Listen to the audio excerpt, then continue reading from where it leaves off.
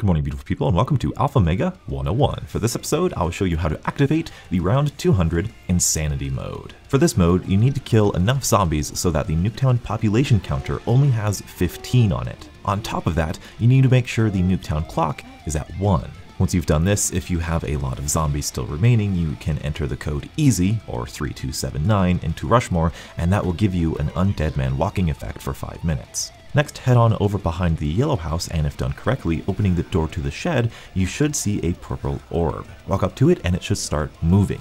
Once it's moving, you are free to kill any zombies to survive, but keep following the purple orb all the way to this monitor in the second story of the APD house. Make sure you purchase the Bowie knife and then melee this monitor. That will release a piece of paper with a code on it that you need to input into Rushmore. All you need to do is put that code into Rushmore and then confirm you want to activate this insanity mode by interacting with the main Rushmore computer system. Once activated, you will be restricted to the classic Nuketown Zombies area, so it is advisable to set up your weapons, perks, and loadout before confirming this mode. After that, have fun and enjoy the insanity of round 200. Thank you so much for watching, and until the next absolutely beautiful Zombies morning, I'll catch up with you guys later. And as always, stay beautiful.